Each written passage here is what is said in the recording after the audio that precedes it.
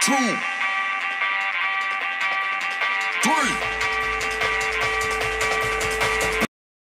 Nkunku is done, Rafael Leão next up. I keep hearing Leão and Nkunku, but would sign those two players really solve our problems up Suffering a front lot is cause I because of the current system we are playing and the reality is that this system doesn't favor most attackers.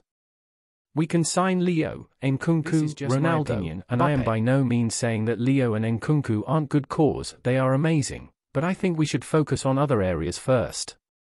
I'm happy for hearing of the progress being made so far with regard to our team board appointments.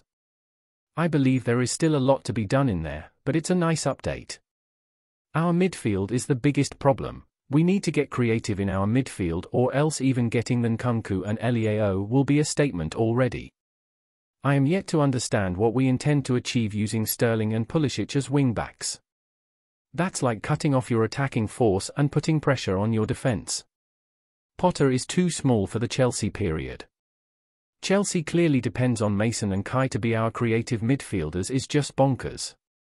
Mason has reached his prime, play. can't develop a progress better than are a he is summer and Kai is just not, not just January. a guy. Why they can't No just one see is this going is to give us top me. midfielder mid-season. Out attackers flop because there's no vision in the midfield which is clearly seen in every Kante and Jorginho are going to be out of contract. Gallagher and Carney are future midfielders, plus we are going for Rice and Bellingham in the summer. We need an overhaul in midfield, but not in January. Which midfielders do you want Chelsea to sign in the summer?